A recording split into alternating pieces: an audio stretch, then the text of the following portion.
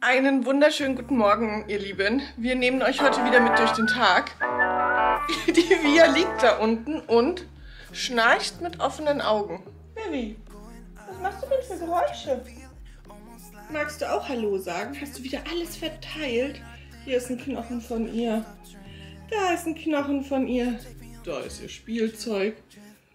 Und du schläfst noch ein bisschen? Hm? Bist du nicht müde?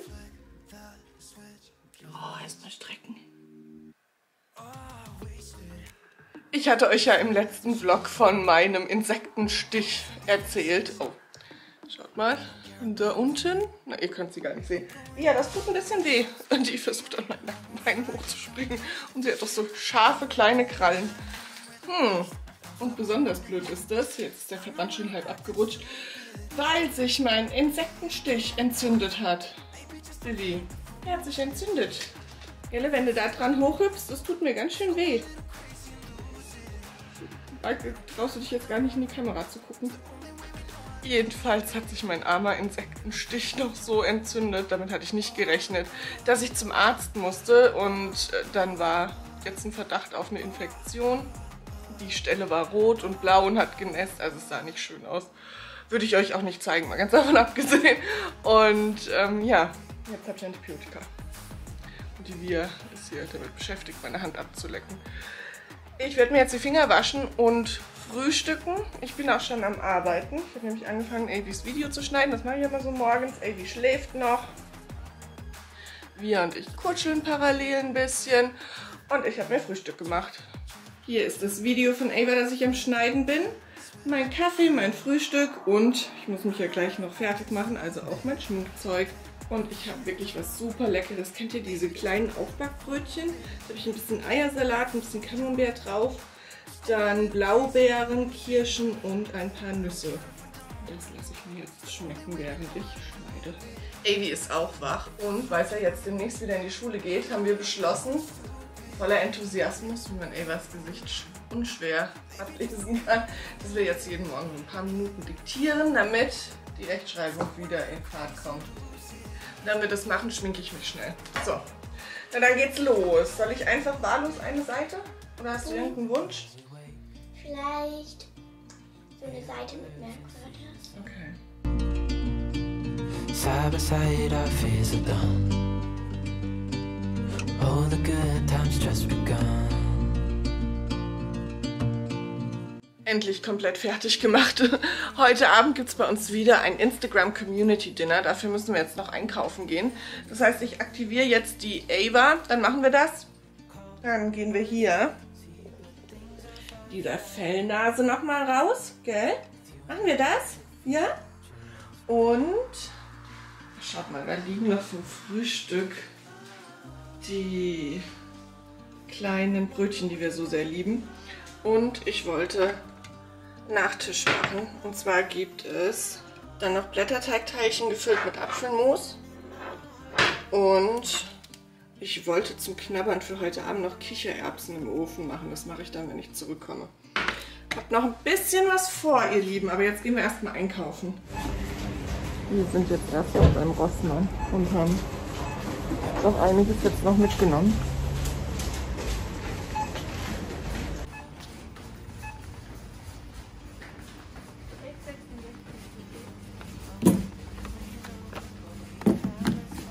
Sind vom Einkaufen zurück. Hinter mir stehen die ganzen Tüten, die ich jetzt alle auspacken muss. Und dann wollte ich euch auch noch, wenn ich dann alles weggepackt habe, zeige euch das ein oder andere, was ganz interessant ist, was ich mitgenommen habe. Und auch das ein oder andere Erlebnis, was heute leider beim Einkaufen nicht so schön war. Wir waren beim Rossmann Lebensmittel einkaufen und ich wollte ein bisschen Deko holen. Da sind jetzt die Rossmann-Sachen, Lebensmittel, meine Handtasche. Nach der fragen auch immer so viele, die ist vom H&M übrigens. Und meine Wäsche zum Waschen. Und das habe ich hier schon ziemlich ausgepackt. Das muss hinten in den Kühlschrank. Und du musst alle da reinmachen. Ist das ein Witz oder? Nee, erst waren die wirklich schön da drin und ich Okay. jetzt sie wirklich schön da reinmachen. Ava hat sich ein Spiel gekauft, das heißt Dogpile. Und jetzt muss ich die da alle reinsammeln. Ja, das ist das ist leider.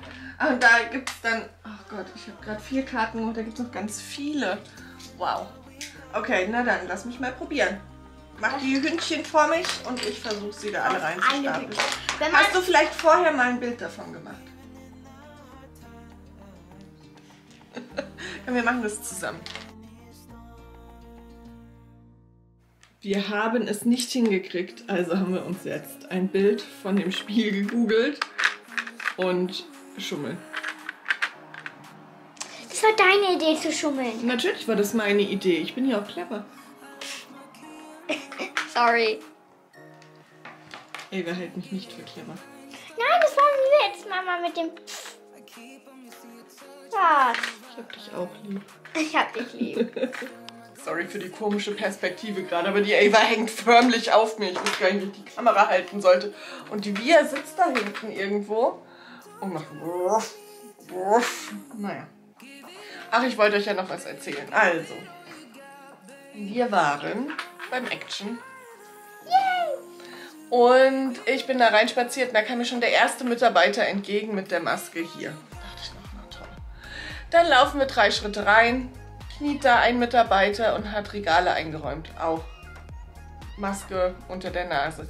Dann habe ich ihn drauf angesprochen, ganz höflich, und sagte, ähm, wissen Sie eigentlich, dass Ihre Maske unter die Nase gerutscht ist?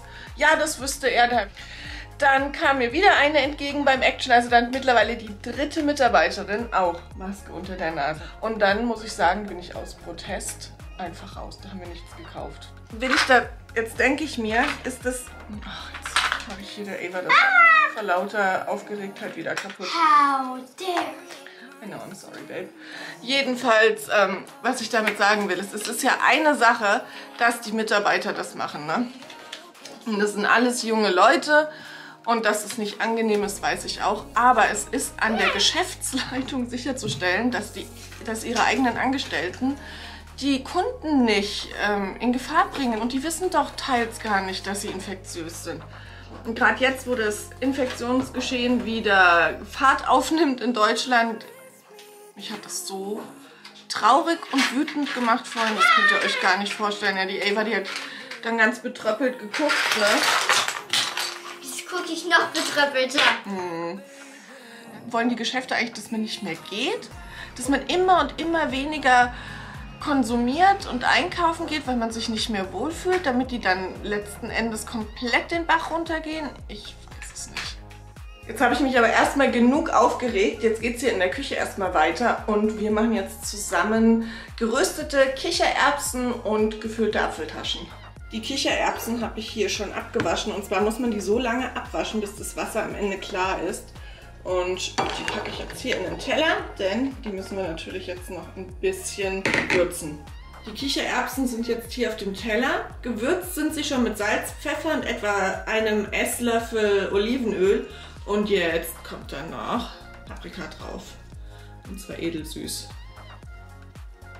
Und das Ganze vermenge ich dann und gebe das auf das Backblech.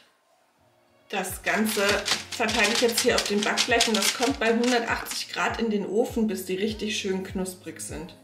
Das ist so ein einfacher und schneller Snack, den man sich so zubereiten kann. Eine ganz tolle Alternative zu Chips. Und vor allem, man kann die auch oben auf Essen draufgeben und das schmeckt auch so gut. Und zwar kommen die jetzt zusammen mit den Apfelecken in den Ofen. Da muss ich den Ofen nur einmal anheizen. Und die mache ich jetzt auch gerade mit euch.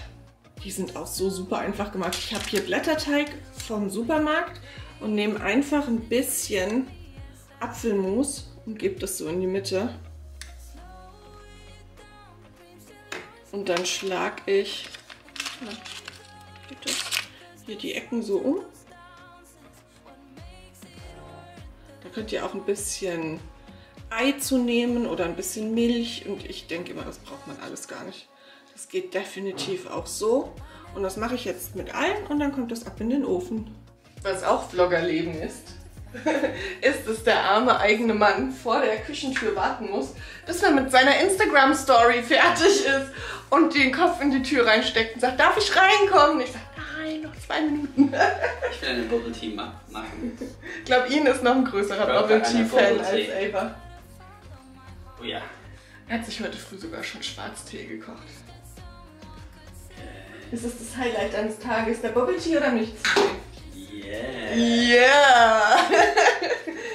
Kein Wunder, dass du den Bubble Tea mir zuvorziehst. Der lässt dich Yeah. wenigstens nicht vor der Türe warten, ne? Okay. Uh, nice. Ja, auf jeden Fall stehen hier schon meine Sachen, die kommen jetzt ab in den Ofen. Schaut mal, was ich noch im Geschäft gefunden habe. Ian und ich stehen auf Salted Caramel. So sehr. Und unser dreckiger. So, so sieht man es nicht. Bitte schön, magst du dir eins nehmen? Ein ganzes Tüte. Nein, ich will auch was. So sieht Joink. Ians Bubble Tea aus. Wow, cool, man. Ja. Brooke jetzt eine Bubble Tea. Schauen. Oh ja, warte, der ist hinter mir. So, hier. Oh, wow. Ah, und guck mal, das trinke ich. Ich bin zu faul, mir einen Bubble Tea zu machen. Ich bin heute sonst zu lange in der Küche. Wir haben extra umweltfreundliche Bubble Tea Strohhelme gekauft. Gut, darf ich mal probieren? Ja. Ich habe bisher nämlich nur den probiert, den Ava macht. Mm. Nicht so süß. Dude, da ist gut. Das ist lecker. Sehr gut. Lass dir schmecken, schaff schön. Oh, Ich mache hier weiter. Kühlschrank. Und ich habe noch eine Sache gekauft. Und da kam ich mir vor wie so eine alte Frau. Und zwar ein Nähset. Da dachte ich echt im Geschäft, ernsthaft, wie alt bin ich denn? Aber unsere Nähsachen, die sind total verstreut im Haus. Und dann dachte ich, dann ist es wenigstens alles ordentlich beisammen. Das sexiest Nähset alive. Naja, auf jeden Fall habe ich mir ein Nähset besorgt mit 87 kleinen Teilen. Ja, und jetzt warte ich, bis alles fertig ist und dann gehen wir noch mal eine Runde mit dem Hund raus. Wir müssen uns bewegen, obwohl es draußen echt grausig aussieht. Nicht nur ist draußen unsere Baustelle, aber die kennt ihr ja schon, sondern es ist auch total bewölkt.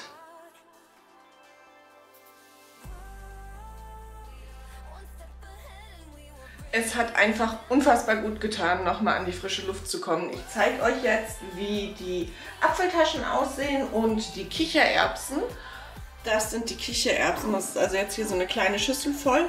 Die werden ganz schön kleiner, wenn die Flüssigkeit da drin verdunstet. Also, wenn ihr richtig viele wollt, dann müsst ihr schon zwei, drei Dosen machen. Aber so für heute Abend zum Knabbern reicht das. Hier sind jetzt die Blätterteigteilchen. Die habe ich schon auf so ein Tablett angerichtet und das wird dann unser Nachtisch. Heute ist übrigens Dienstag und dienstags nehme ich euch immer auf Instagram mit. Da ist ein Community-Kochtag. Da dürft ihr mir nämlich erst Gerichte schicken, dann wähle ich ganz zufällig zwei aus. Ihr dürft abstimmen, welches ich kochen soll. Und heute wurde es Bourbon Chicken. Das filme ich jetzt hier nicht mit. Ich zeige euch nur nachher, wie es aussieht und wie es schmeckt. Wenn ihr das gerne sehen möchtet, folgt mir auf Instagram. Da gibt es das jeden Dienstag und ich finde, das ist so cool und das kommt bei euch so gut an. Und weil es schon fast sechs ist, würde ich sagen, ich komme jetzt mal in die Pötte, damit wir zu einer einigermaßen vernünftigen Zeit essen können. Wir sitzen jetzt endlich am Essenstisch, es ist schon nach sieben und essen und Ian ist ganz aufgeregt und will endlich probieren. So schaut das Essen aus. Ich habe auch einen Salat gemacht. Da habe ich einfach die Kichererbsen draufgegeben von vorhin. Ian hat sich ganz viele genommen. Und du willst endlich Äh, probieren. Sinn. Äh, Sinn. Es riecht so gut. Es riecht so gut. Bisschen Ja. alles hier zusammen. Ich bin gespannt, was du sagst. So gut! So gut. Ach, schön, mein Schatz, das so freut gut. mich. Mm. Dann guten Appetit! Guten Appetit, du. Das Essen ist übrigens sehr lecker. Ian ist schon beim Nachtisch. Schmeckt's dir? Mhm. Das Essen war unfassbar lecker. Ich kriege aus der Community immer die aller, allerbesten Rezepte. Nächste Woche gibt es dann zum Community Dinner übrigens einen vegetarischen Tag. Die, Via, die hat wieder irgendwas gehört. Und ich lasse mir jetzt noch eins von diesen Blätterteigteilchen schmecken. Trinke meinen Eistee hier in diesem süßen Tiki-Kopf und schneide Evas Video fertig. Ich danke euch, dass ihr uns heute wieder durch den Tag begleitet habt und sehe euch dann beim nächsten Mal. Bis dahin, ihr Lieben. Ciao!